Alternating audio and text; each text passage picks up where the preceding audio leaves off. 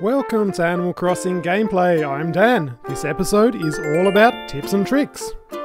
For our first tip, let's go ahead and make a golden rose. To do this, you need a 5 star island rating. To start off with, you need a field of red roses. Select an area and plant red roses in a diamond formation. Go ahead and water those roses. When you come back the next day, you'll see different coloured roses are starting to bud. We're interested in the black roses. Dig up those black roses and plant them somewhere else. Continue to water the red roses every day until you have many black roses. Go to resident service and ask Isabelle what your current island rating is. If your island is rated at 5 stars, she'll give you a recipe to make a golden watering can. Let's go ahead and make that golden watering can. You need a gold nugget and a watering can.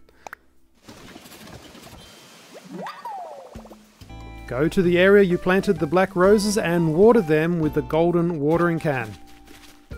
You want to continue to transfer the black roses that started to grow in the red rose field and eventually the black roses will start growing next to each other as we can see here. And of course you want to water them every day with the golden watering can. For us, the very next day we had our very first golden rose starting to bud. However, sometimes it may take extra few days for this to happen. And as we just seen, we want to dig up that golden rose and plant it in its own specific area. This will allow more space for more golden roses to grow in its place tomorrow. If you come back the following day, you will see there are black roses starting to bud and we have one more golden rose starting to bud as well. Once again, let's dig it up and plant it next to the other one. Just repeat this process until you have enough golden roses that you want.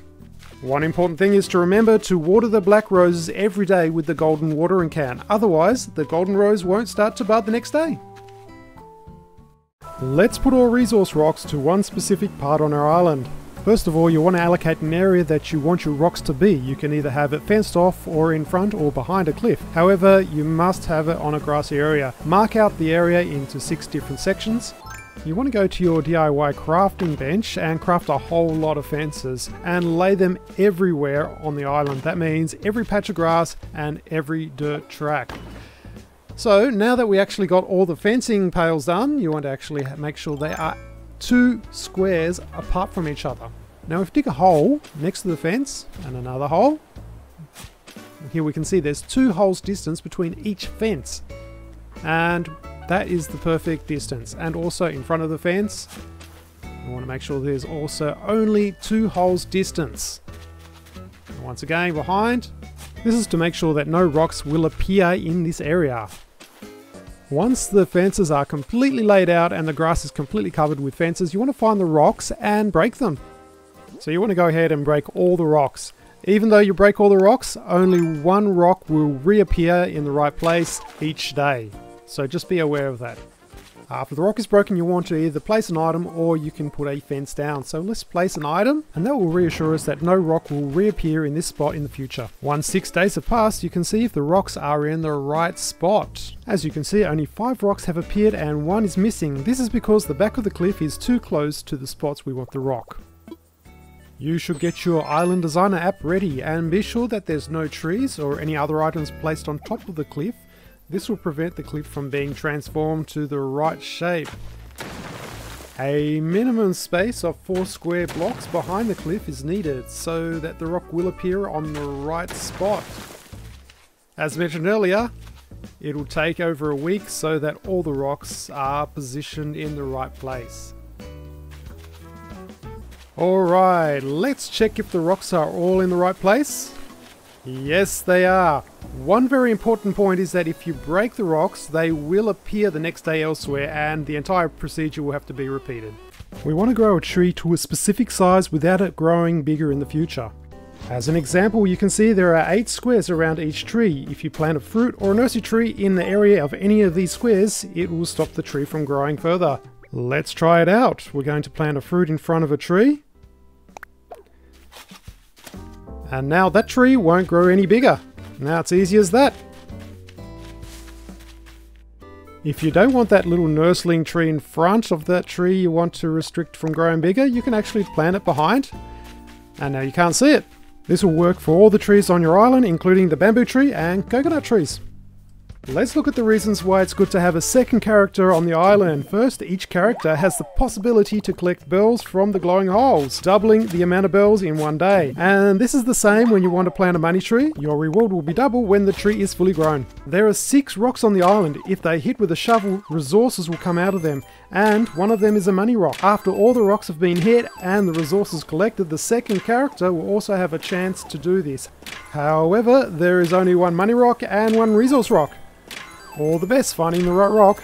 Each character has a chance to collect a message in a bottle every day, doubling your chance to get a DIY that you don't have. When Pirate Gulliver comes to the island, both characters can individually on the same day complete the mission they were given and receive a present from Pirate Gulliver. This is the same when regular Gulliver, Wisp, Celeste and Label come to the island.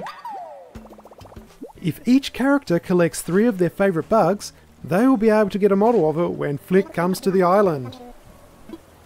After 6pm you can request a song from KK Slider.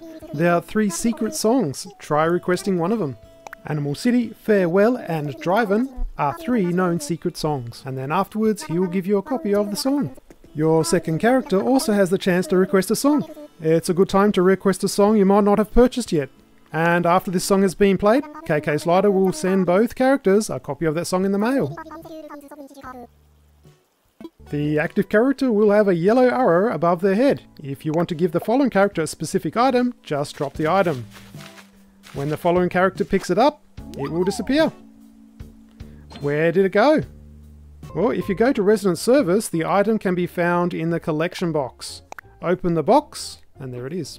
Both characters can choose a piece of art when Redd comes to the island. This doubles the amount of art you can collect in one day. However, Redd has fake art on his ship. Please choose carefully.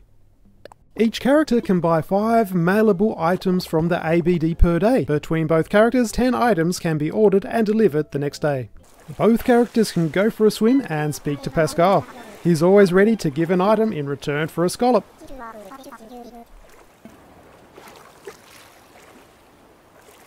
Giving Nook Miles to another character is normally not possible. A good way to get around it is by purchasing an item by Nook Miles, dropping the item, and then swap the leader.